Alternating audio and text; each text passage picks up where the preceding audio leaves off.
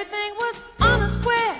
The buzzer tried to throw the monkey off his back, but the monkey grabbed his neck and said, Now listen, Jack, straighten up and fly right. Straighten up and stay right. Straighten up and fly right. Cool down, Papa, don't you blow your top. Ain't no use in diving.